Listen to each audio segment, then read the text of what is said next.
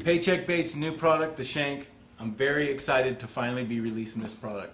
I've had this product for a year on my boat. I have tested this under every condition you can imagine. I've been to the thickest lily pad fields on the James River, to the thickest hydrilla, coontail, smartweed, vines, hyacinths, blow-in mats at the Delta, tules, reeds, pencil reeds, cabbage, rice. It does not matter where you go with the Paycheck Bait Shank.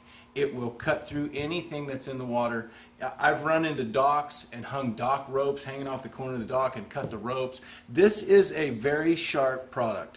Please use caution when you're up here and you're talking to your buddies and you're leaning on the trolling motor and you're up here talking about how the fishing day and how the, they were biting. Don't lean on this blade and cut your arm off. This is a very sharp product.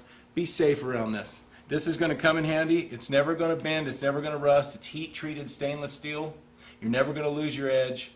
You put this on your boat, it's a one-time fix-all. You're ready for grass. And, and I can't stress to you enough how many people, how many pro anglers came up to me last year and said, man, how do you run your trolling motor on such a low speed and get through that grass? Like, you never lift your trolling motor out of the water. I lift my trolling motor every 30 seconds, brr, brr, brr, trying to clean it off, chop grass. You'll never have to pull the rope on this thing unless it's time to leave the spot. The shank will change how you fish grass. I guarantee it.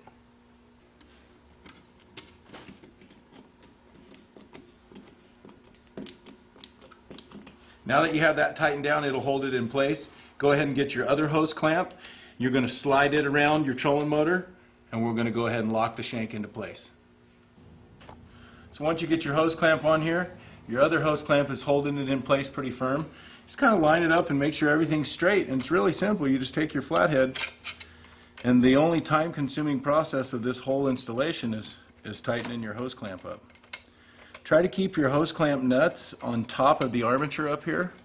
When I mean these, these nuts up here stay up on top, that kind of helps it keep weedless and keeps it from snagging any extra grass hanging on it.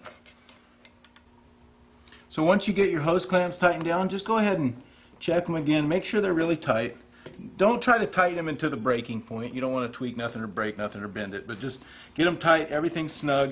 Make sure you check your shank. Make sure everything looks in position. Make sure your prop still has that clearance. You see that nice pinch point right here? That prop's going to pinch any grass that wraps around here. It's going to come right to that blade and it's going to cut it right away. Once you have everything on, you can take your side dikes And a lot of guys, you know, it doesn't matter to them. A lot of guys don't want a, a, loose piece of metal hanging off your hose clamp. So once you get everything locked into place, you know you're good. You know it's going to be here. It isn't going to move once it's tight. You can go ahead and snip these off. And you just snip these back a little bit